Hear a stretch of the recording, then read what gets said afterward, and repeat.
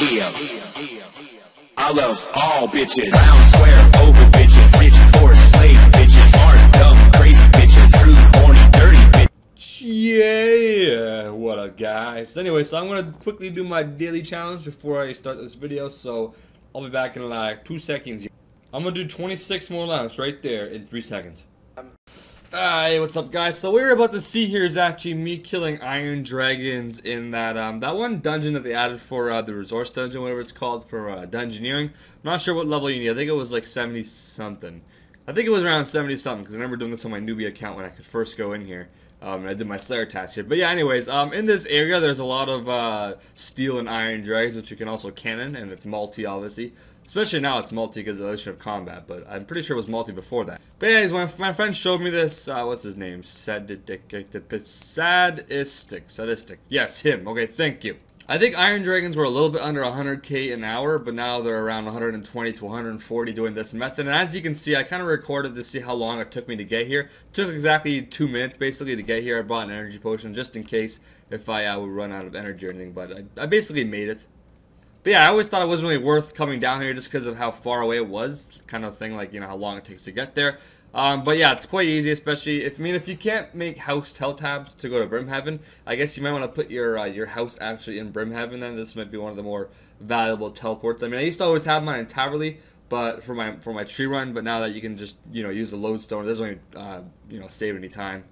I never had my house in Yanille. I understand. I don't really understand why people have their house in Yanille. Like, there's nothing significant about that. Like, I don't understand.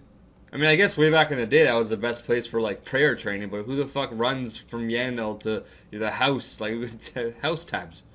This ain't 05. I'm sure we can all afford a house tab once in a while. But yeah, once again, you know, I proved myself right. There's more and more stuff to learn from Slayer. Um, newer and better methods for everything, basically, even where you kill them. Um, what I've also heard is, uh, so you guys know how long time ago I saw these botters killing the uh, those black demons with magic because it seemed like they were hitting quite high on them. Well, I tested that out with a cannon, though, which probably wasn't the best thing to do because I almost died a few times. But if you bring a pack yak with some food, you're good to go. Um, but yeah, I tried using Blood Barrage or Soul Split, and it feels like I killed Black Demons exactly the same speed as I as I would with Pernix and uh, the duo Chaotic Crossbows that's another method I might look for uh, for testing out in the future. Unless you guys really want to test it out for me, then I don't know. I can like your video or some crap. But yeah, anyways, um, I want to test it out in one of my videos later on. Um, I tried it out, but I didn't really feel like recording. Uh, but yeah, it feels like it was it was okay. I mean, I guess if you want to train uh, defense or um, I guess magic, because you can train defense with range as well, which is what you probably should do for that task. Because I did almost die a few times. It's probably because I'm using the um, the subjection armor instead of the uh, Pernix, which is why they hit so high and act like so many times on me. Holy shit, better do an anti-fire. There we go. Yeah, I almost died doing this task like four or five times with this stupid anti-fire. I never paid attention to it. I should always anti-fire whenever I jerk my overload, but I know that you don't have to. You can wait like another minute or some crap, so I don't really want to waste any anti-fires. Uh, but at the same time, you almost always die. Now, I'm going to say, if I was to have like 60 Iron Dragons, I probably would not come here. I'm pretty sure you can get like 60 around that. If I have a very low number of them, I probably wouldn't bother coming all the way down here. It'd be too much of a bother for no reason. Uh, if I have like 80 plus or 75, maybe that's probably the cutoff point for me. I'd probably bother coming down here. But if you have like 60, it's just like, you know, it's quick 10, 15 minutes. There's no point of running because two minutes of that time will just be running and you won't really save any time. It'll be really annoying having to teleport and run around and crap. Plus, if you die here, you're kind of fucked. You gotta run all the way back. And if, I've died a few times in Kuradal Dungeon when I was AFKing, and it takes like five seconds to get back, and you just get all your shit and keep going. But yeah, I remember when this dungeon first came out, and me and Lamar were both like, "Wait, wait, wait! Is this 99 smithing for free?" I remember we used to, uh, we used to think that you know, there's all these anvils around and crap, and there's all these dragons, which basically means you know, unlimited supply of bars if you kill them. And we used to think like, this is the best way to get 99 smithing for free. That was before the Dicer days, though. You know, then yeah.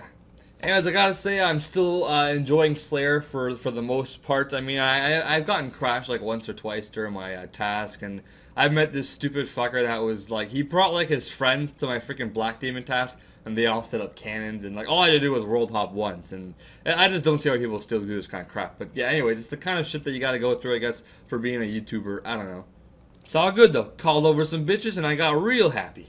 But yeah, I want you guys to go look at the, my lead on Robbie right now. It's quite awesome. I, I mean, I, he didn't quit, but he has been kind of slacking for the past like week or so. He's been doing like bonfire fire making with some C2 crap. Um, so it's kind of good. Um, basically past Telmo by now. Um, what, what I have, and um, now I guess I'm kind of probably looking forward to uh, to King Duffy. So yeah, we'll see him hopefully in like a few weeks, maybe even a month, I guess.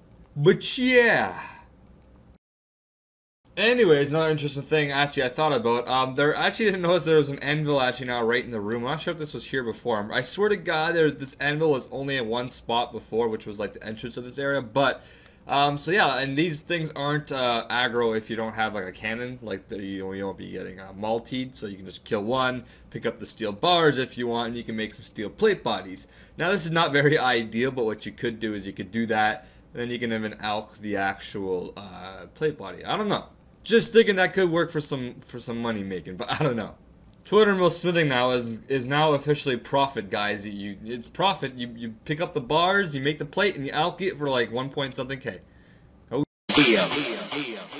I love all bitches. Round square over bitches. Bitch poor slave bitches. Smart dumb crazy bitches. Rude horny dirty bitches. Yeah.